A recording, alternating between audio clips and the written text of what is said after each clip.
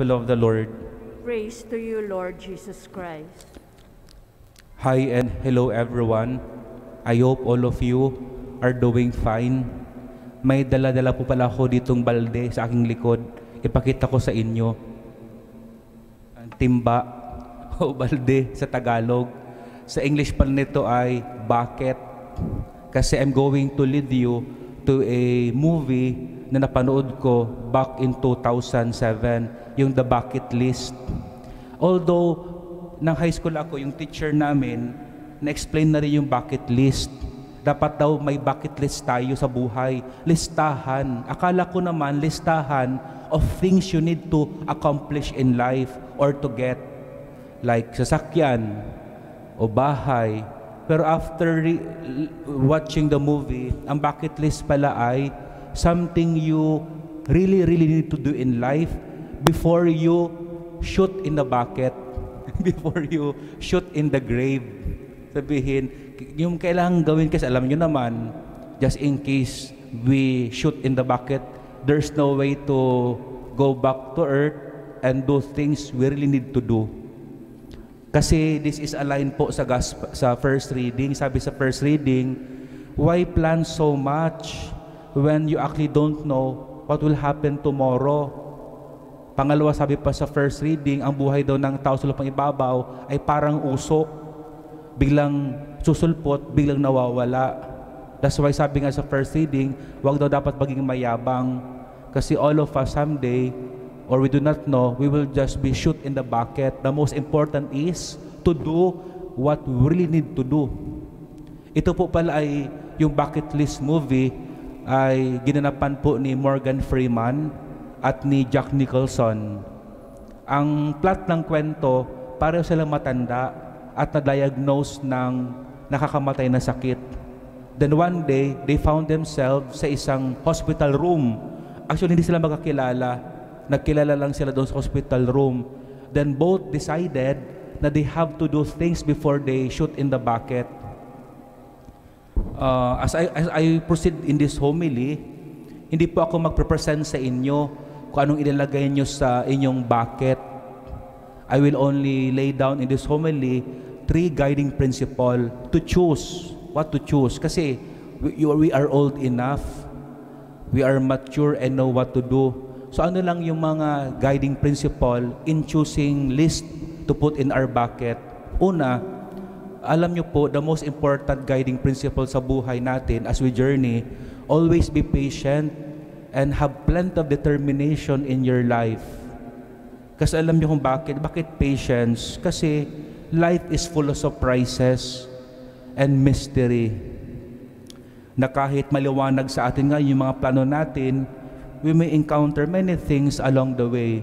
Parang sa kalsada, what can you encounter sa buhay sa kalsada? Delay. Pwede ma-delay. That's why please be very patient.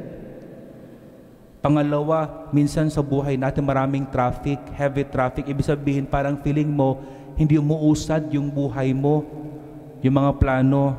O sometimes ang buhay parang nakapasok ka sa wrong turn, mali na pasukan mo because of wrong decisions. So please be very patient. Ang iba naman because of setback sa buhay natin parang sakyan. Minsan, naku, discharge na pala yung battery. Kaya pala di ka na umaandar, pagod ka na sa buhay. Kung hindi naman, overheat na, no burnout na. So that's, that's why please very patient in life. And sometimes you can encounter dead ends. So please be very patient. Remain calm when you meet many problem or when a person is too difficult to deal with. Remain calm. Do not allow the situation to destroy your peace and your ability to begin again. At bakit din po pala kailangan determination sa buhay? Kasi nobody said that life will be easy. Meron ba nagsabi sa inyo that life will be easy? Even God did not say that life will be easy. Success does not come happen over time. So carry a lot of faith in God. Carry a lot of faith in yourself. Alam nyo ba, the more you believe in God, the more you will believe in yourself. And confidence level is very important. It will empower you to get going. So have plenty of determination in your heart. Pangalaw naman po pala na kailangan nyo guiding principle as you accomplish your bucket list, bring a lot of humility in your life. Yung pagpapakumbaba. Bakit kailangan ng humility? Kasi di mo natin alam lahat eh. Di mo natin lahat kaya gawin. In short, we need always God's guidance as a strength. As a sometimes, if need, you are, we need to be corrected, allow yourself to be corrected. The most important in life is the will to grow. Yung willingness to grow, to stand up. Yung po anong nangyari doon kay, kay Jack Nicholson sa movie. Mayaman kasi si Jack Nicholson, billionaire, but he live alone, only with his assistant. Ngayon, ang nasa bucket list niya doon sa movie, sinama niya si Morgan Freeman sa Africa, sa safari, pumunta sila sa Himalayas, doon sa pinaktuktok ng snow, pumunta sila doon sa Taj Mahal, kasi he has plenty of money, he thought he can buy anything. Ngayon, nandun na sila sa taas ng pyramid. Tinanong siya ni Morgan Freeman, Does your life have joy? May tuwa ba ang buhay mo?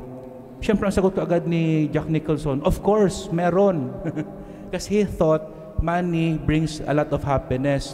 Pero yung second question ni Morgan Freeman, stop Jack Nicholson. Ang tanong na ito, o ngayon naman, does your life gives joy to others?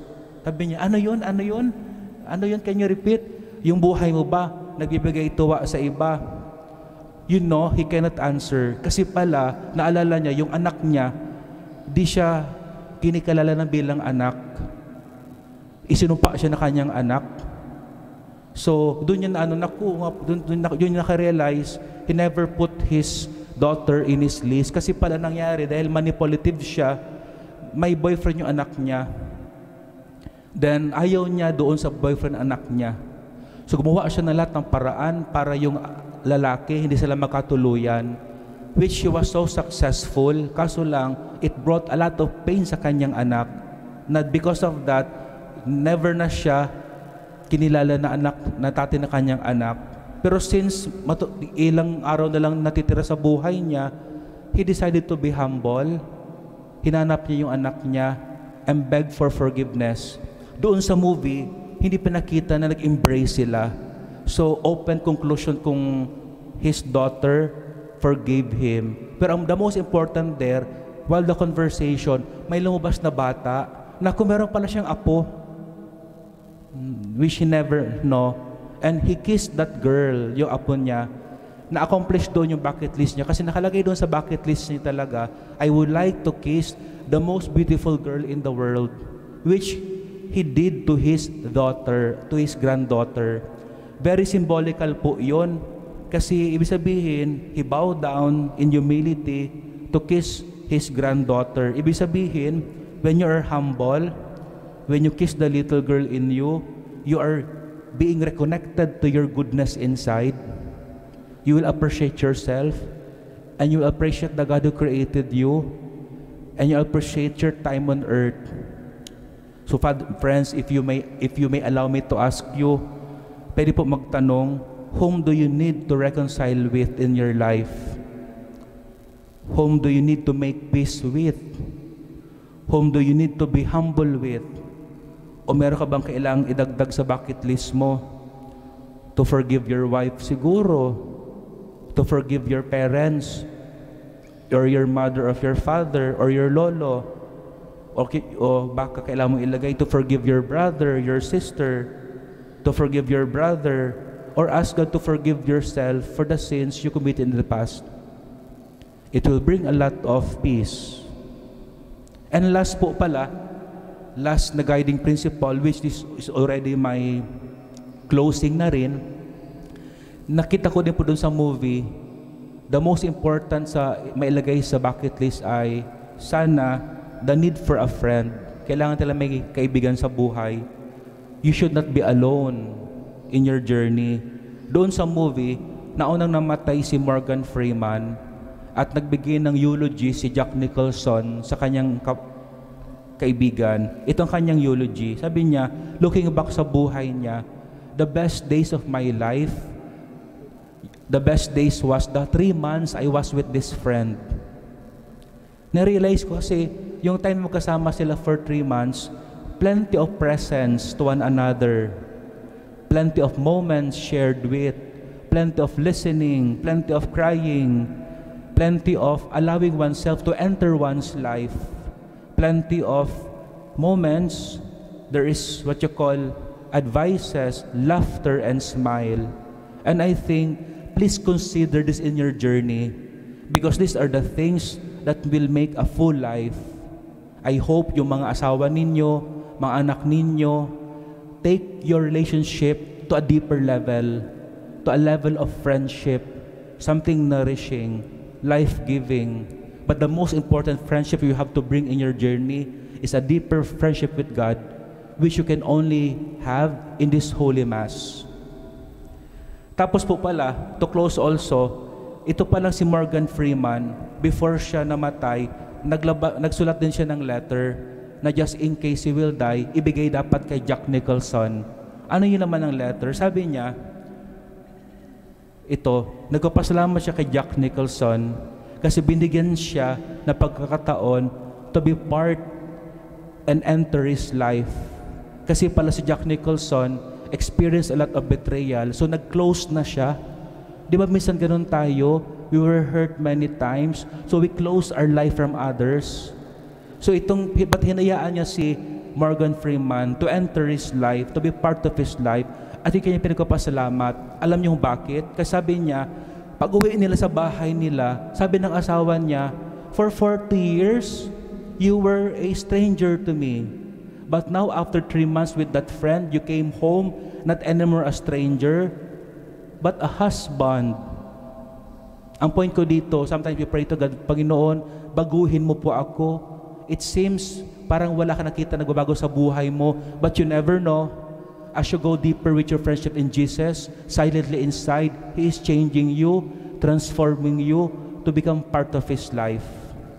So friends, you will always be, and I, me and you, all of us, will always be in the number one list in the bucket list of God. Whatever happens to us, He will always remain faithful to you, true and true. So God bless everyone.